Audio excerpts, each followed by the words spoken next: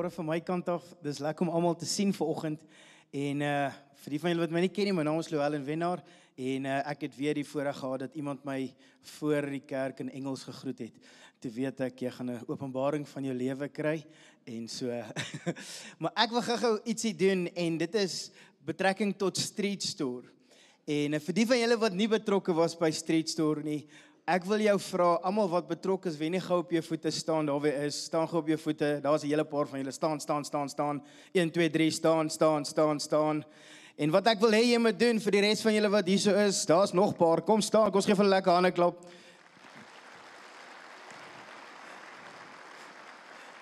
Die pastore, julle kan sit. Julle word betaal om dit te doen. Nee, ek glo. Die res van julle wat staan, ek wil vra vir die res van julle wat sien wie almal staan, gaan bietjie na hulle toe na afloop van die diens en gaan vra vir hulle wat dit vir hulle beteken en dan gaan jy agterkom, dit gaan nie oor net noodwendig vir die mense daar buite nie, maar dit gaan eintlik vir ons persoonlik. So baie baie dankie vir almal wat betrokke was by Street Store. Dit was regtig 'n great sukses en uh, dis net vir ons 'n great oomblik om dit te kan doen. Ons is 'n gemeente wat bestaan nie vir onsself nie, maar vir die gemeenskap. En dit is ons groot voorreg. Nou, ek wil vandag afskop met die hele gedagte wanneer ons praat oor life by design. Dat jy is geskape en gedesign deur God. Hy het gesê laat ons mens maak volgens ons beeld, ons gelykenis. Ons is ontwerp in sy beeld en sy gelykenis. En uh toe ek nou hierdie storie hoor wat ek vir julle gaan voorlees nou-nou, ehm um, toe dink ek ek wonder of of dit God se doel was met hierdie tipe goed. So ek wil vir hierdie ding lees. Dis ongelukkig in Engels, maar dit sê dit net so mooi in Engels. Dit sê the following letter is from a professional bricklayer in response to his workers compensation claim for injuries sustaining on the job, IOD. It seems the insurer sought more detailed information for the accident investigation about how the bricklayer sustained such substantial injuries. En dan begin hy. Hy sê: "Dear sir, I'm writing in response to your request for additional information in block three of the accident report form. I put poor planning as the cause of my accident. You ask for fuller explanation, and I trust that the following detail will be sufficient. I'm a bricklayer by trade, and on the day of the accident, I was working alone on the roof of the new six story building. When I completed my work, I found I had some bricks left over which, when weighed later, were found to be slightly in excess of 500 pounds. Rather than carrying the bricks down by hand, I decided to lower them in a barrel by using a pulley which was attached to the side of the building on the sixth floor.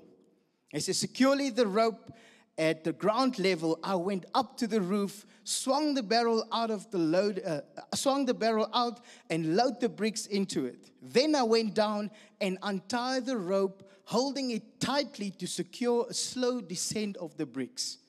You will note in block 11 of the accident report form that I weigh only 135 pounds. Due to my surprise, at being jerked off the ground to suddenly, I lost my presence of mind and forgot to let go of the rope. Needless to say, I proceeded at the rapid rate up the side of the building in the vicinity of the third floor. I met the barrel, which was now proceeding downwards at the equal, equal, equal impressive speed.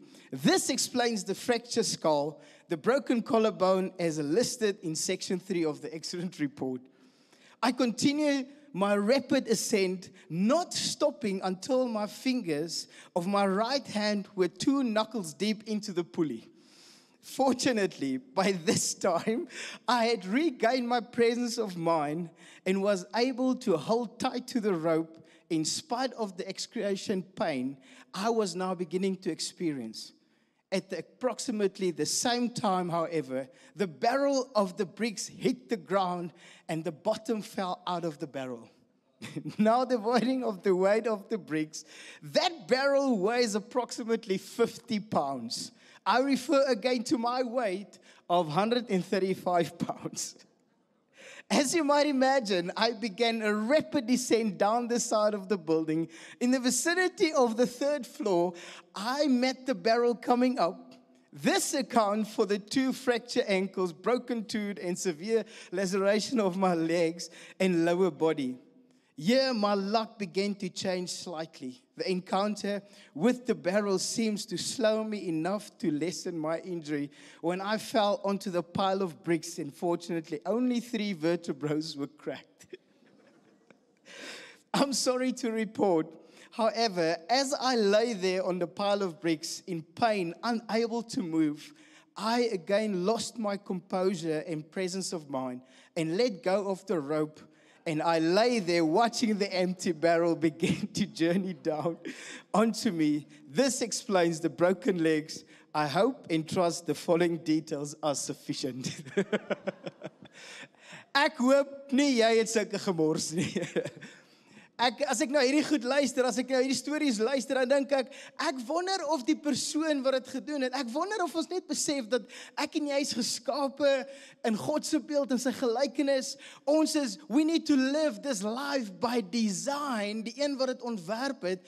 Ek kan nie gaan na na iemand anders toe nie, maar my beeld en my gelykenis en alles wie ek is is is in God en en ons wil hierdie storie vat of hierdie reeks vat live by design. Wil ons bietjie met jou praat en fokus op die manier hoe ons leef. Ons wil praat oor ons finansies, ons geld, dit wat vir ons saak maak. Hoe hoe kyk ons daarna en ons wil dit opbreek in vier areas. Ons wil praat oor heerskappy, ons wil praat oor rentmeester, ons wil praat oor vrygewigheid, generosity en dan die laaste week wil ons bietjie praat oor abundance. En ons wil saam met jou journey dat jy net hierdie begrip kan verstaan dat jy is geskape in God se beeld en en die God wat ek en jy dien en die manier hoe God oor ons dink en oor die lewe dink is hy altyd daar as 'n vergewige God. As hy op die einde van die dag wil hê ons moet in hierdie design leef van wat hy bymekaar gesit het. Nou hoor wat sê Spreuke Proverbs 11 verse 11 ek het dit in Engels. Dit sê so mooi in die Living Bible, it said the good influence of godly citizens causes a city to prosper. Dis ons wat kerk is wat op die einde van die dag ons omgewing en alles wat saam met dit gaan 'n plek maak waar God kan regeer. Alles wat ons doen is omdat ons weet ons is daai influence vir ons samelewing, vir ons huisgesinne en vir soveel meer. Dis wie ons is.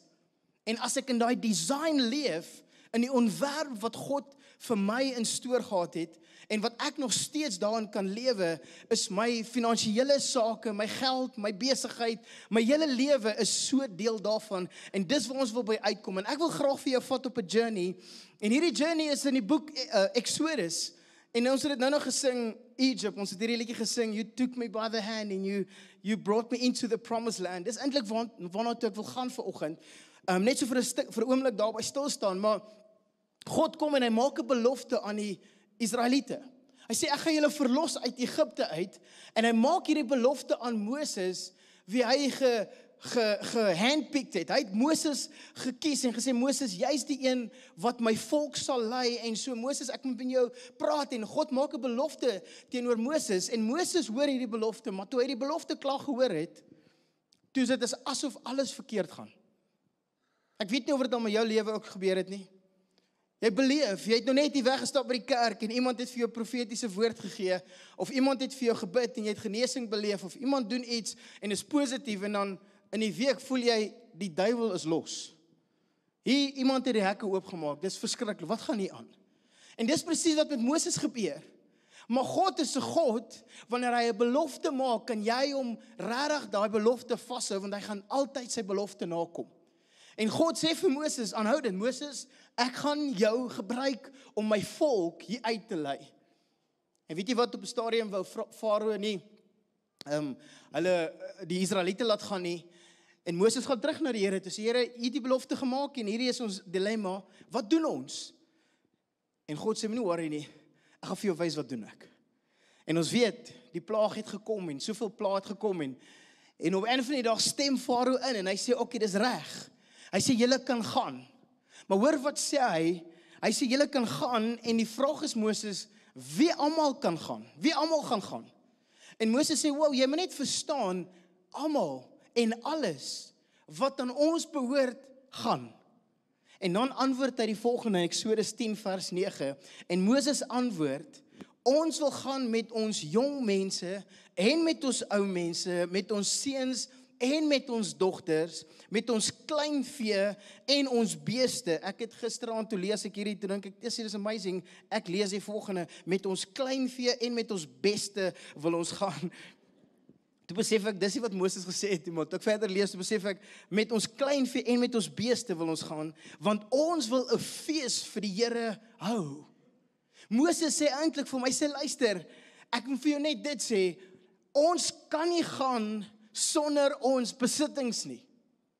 Alles wat ons het, het ons by die Here ontvang en nou wil jy hê ons moet weggaan en dan moet ons dit wat die Here aan ons toevertrou het, die feit dat hy ons Here is, wil jy hê ons moet dit agterlaat. Daar's nie 'n manier nie.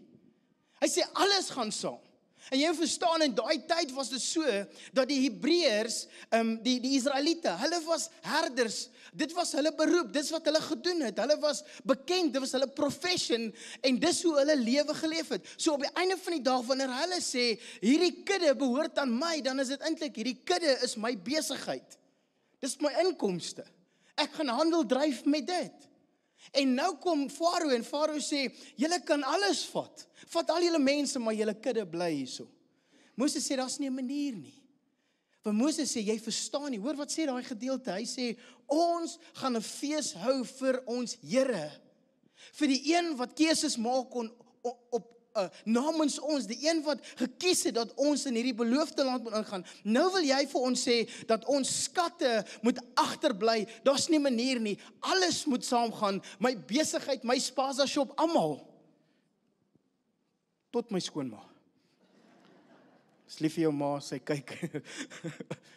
Alles moet saamgaan en ons is bereid om niks agter te laat nie, want hierdie aanbidding wat ons doen, dit is ons lewe, is 'n lewe van aanbidding en ons finansies, ons besigheid is deel hiervan. En Farao begin te besef, hoorie maar as hy hierdie ouens laat gaan is daar moeilikheid want hier's wat jy moet besef dat baie keer kom ons op 'n plek waar jy jy sê maar Here ek werk vir hierdie baas en is 'n ongoddelike baas.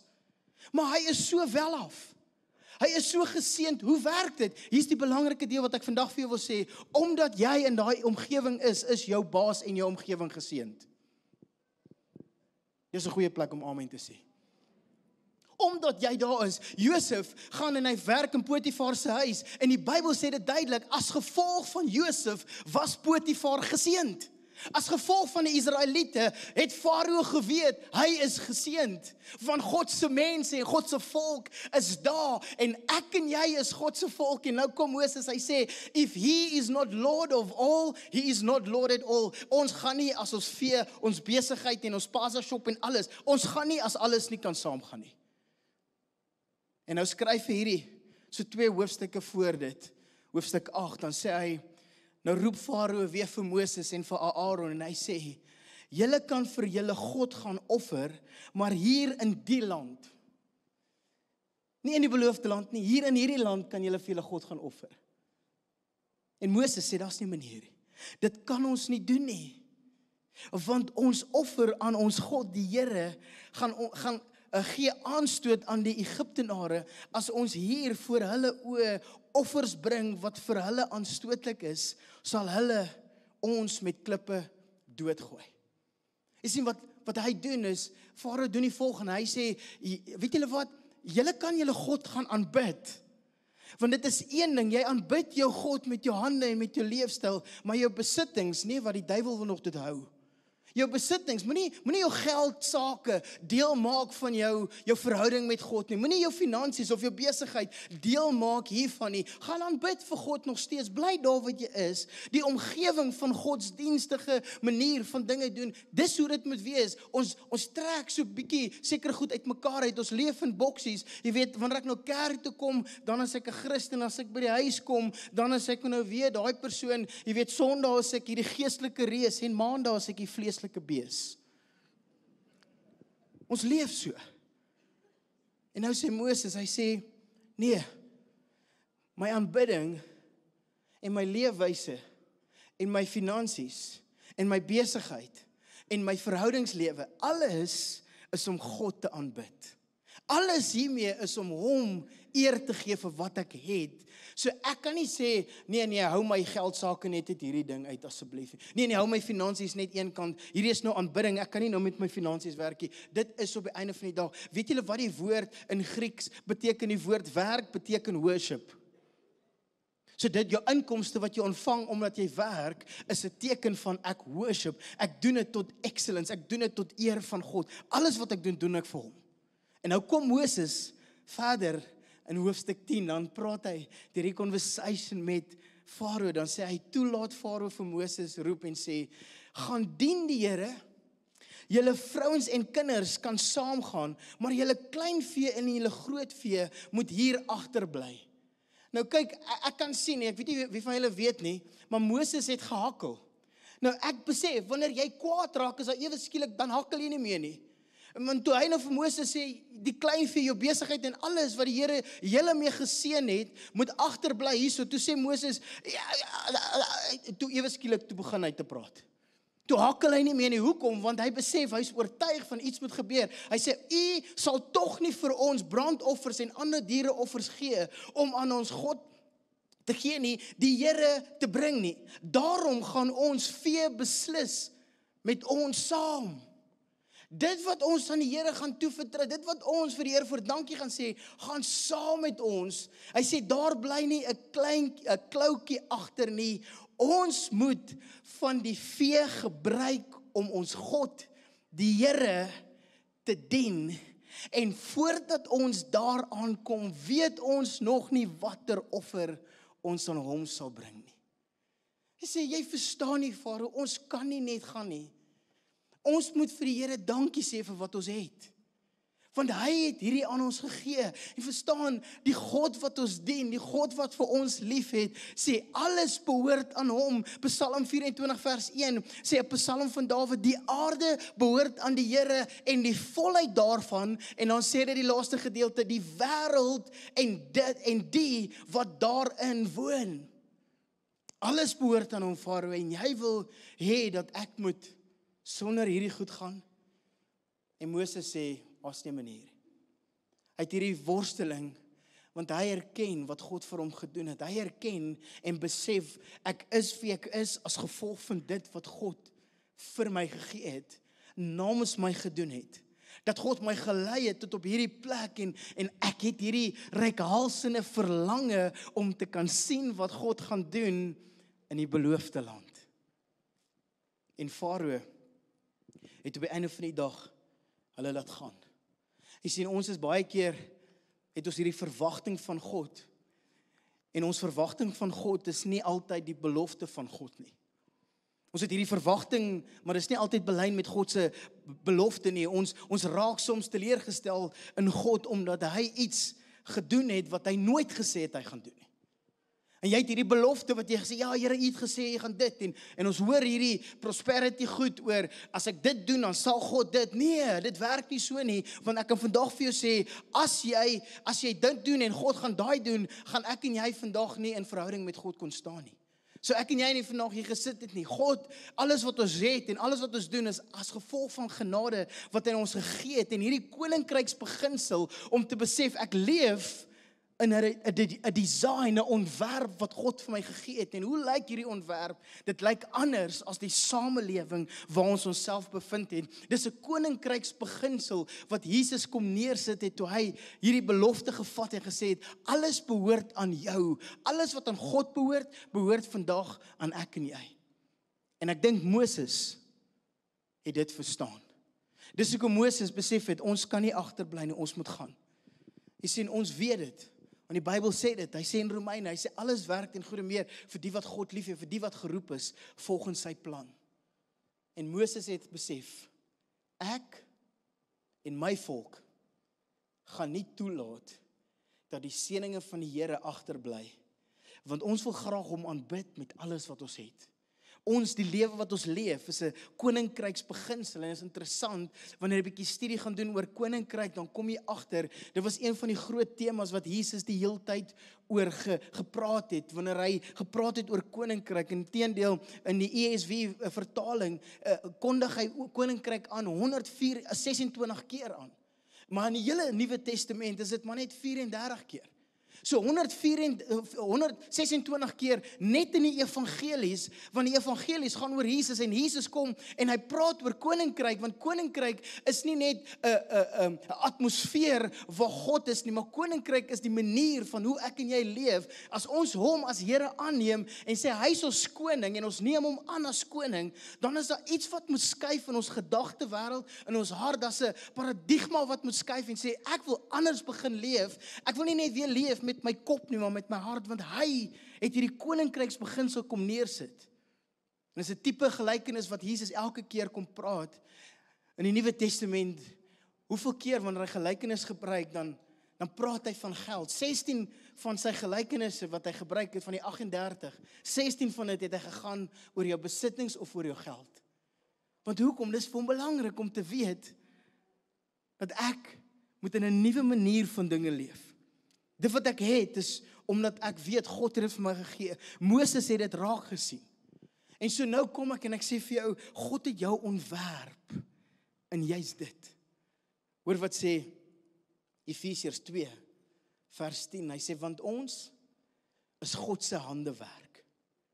Hy het ons in ons een een um, eenheidsband met Christus Jesus so gemaak dat ons die goeie werk wat hy vir ons bestem het te kan uitleef.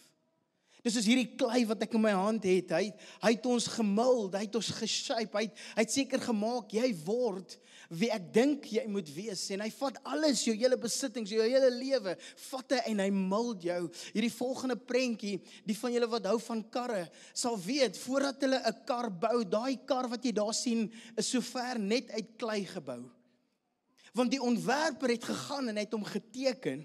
En toe hy hom klaar geteken het, toe gaan hy fisies met 'n paar ander ouens wat saam met hom op die span is en hy vat klei en hy begin hierdie klei warm te maak en te shape en seker te maak dat hierdie klei ontwerp hy die kar wat hy wil hê en dan staan hy terug en dan kyk hy dan sê hy this is good. Inteendeel Jy sal onthou die Bybel sê in Genesis 1 sê toe God die mens gemaak het, toe kyk hy so toe sê hy hierdie is goed. Toe maak hy die vrou toe sê hy dis baie goed. Want jy word gemold. Jy word geshape, jy word jy kom op 'n plek waar mense later na jou kyk en sê, "Wow." Want jy's geontwerp in God se beeld en sy gelykenis jou finansies, jou hele lewe, jou koninkryksmanier is om die heeltyd te kan besef dat God, jy is in God se hande, net soos wat hierdie klei in my hand is, het God jou kom shape en jou gevorm en seker gemaak jy word wie jy vandag is. En die Bybel is so deel daarvan. Maar daar's 'n beginsel wat ek no wil noem, die 18 inch principle. Dis 'n paradigma skuif wat jy moet maak in jou kop om te besef dis wat moet gebeur. En daar's so vier paradigmas wat moet skuif. Want daar's die 18 inch principle van jou kop na jou hart. Want met jou kop kan jy baie goed redeneer, maar met jou hart glo jy sê die Bybel. Met jou hart glo jy dat God jou geshape het. In jou hart is die oorvloed van die lewe. Dis waaroor goed uitkom en ek wil vandag bid dat jou gedagtewêreld onder die autoriteit van Jesus Christus sal kom, want alles wat ons het en alles wat ons doen is as gevolg van hom. I.W. Tozer het gesê, "What comes into your mind when you think about God is the most important thing about you." oor jou want God het jou geshape. En ek wil afsluit met hierdie paar paradigmas wat God net vir ons kom kom openbaar.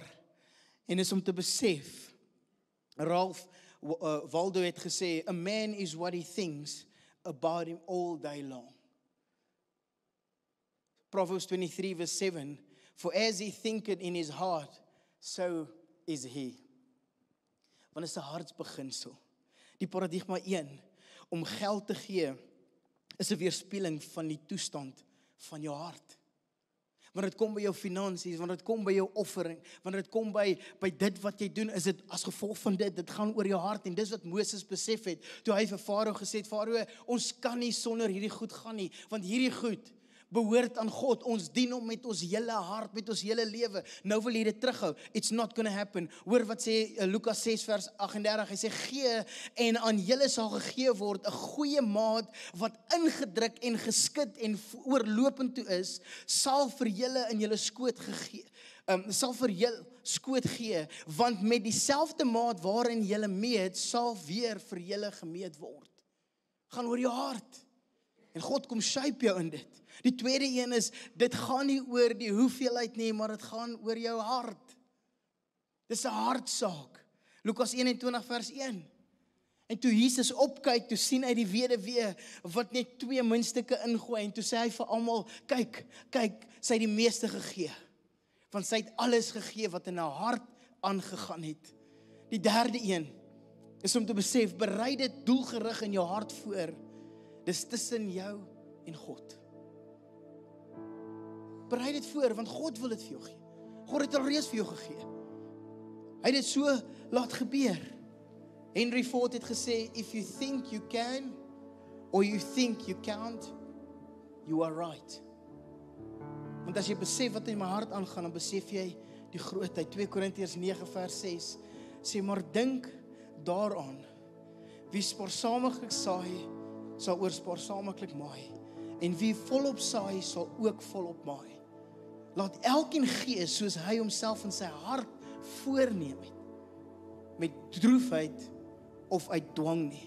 Van God het 'n blymoedige hart, 'n blymoedige gewer lief. Dis 'n hartsaak. Ek dink die ding wat Moses die hele tyd teruggehou het, is is hierdie hartsaak. Van God was altyd bereid om meer te gee. Jou hart sê die Bybel volg waar jou skat gaan. It doesn't matter where you come from. It matters where you are going. Hoekom? Hoor net hierdie. Moenie vir jou skatte bymekaar maak op hierdie aarde waar mot of roes verniel en waar diewe inbreek en steel nie, maar maak vir julle skatte bymekaar in die hemel waar geen mot of roes verniel nie en waar diewe nie inbreek en steel nie want waar jou skat is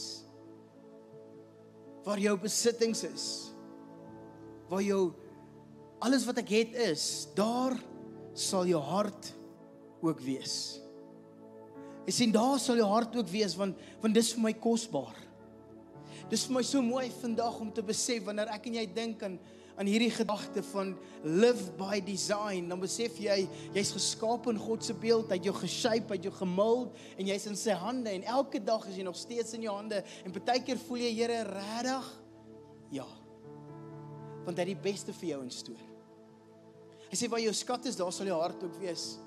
Sy skat, Jesus Christus se skat sit hierso voor my. En wanneer ek en jy aan die nagmaaltafel dink, dan besef ek hierdie nagmaaltafel is eintlik op die einde van die dag die bewys van die lewe wat hy vir ons gestoor gehad. Die bewys dat hy regtig ons Here is. Die bewys dat hy ons wil kom shape sodat ons kan lewe leef volgens sy ontwerp. En wanneer ek dink aan hierdie nagmaaltafel, of wil ek nou-nou soos wat ek nou-nou gesê het, dit is nie dis nie uit, uitsluitend met my finansies of met my besigheid of met my verhoudings nie. Dis ingesluit van die Bybel sê so dikwels wanneer ek aan hierdie tafel sit, erken ek dat hy Here is. Herinner dit my aan dit wat hy gedoen het, dat hy sy lewe gegee het. Hy's die een wat meer gegee het as ons almal saam. Want hoekom? Hy het hierdie lewe ontwerp. Hy het hierdie lewe ontwerp vir my en jou om in hierdie lewe te kan leef. Soos wat Moses gesê het, Here, ek gaan nie Farao, ek gaan nie as alles wat ons het nie saamgaan met die Here nie. En ek wil jou vandag uitnooi met hierdie in gedagte, net breële gedagte van a life by design. Wat wie is dat jy vir 'n oomblik sal opstaan en vir jou elemente sal gaan kry, nagmaal elemente by die tafel hier voor aan die kante en dat jy regtig net sal stil raak en sê Here, Waarmee is u besig om my te shape en te mold wanneer dit kom by my finansies? U heerskappy regtig gevestig word in my lewe. So kom ons vat hierdie oomblik as 'n aanbiddingsoomblik en ons offer onsself met wanneer ons gebruik gebruik maak van die nagmaal. So kom ons beweeg uit en ons kry dit graag.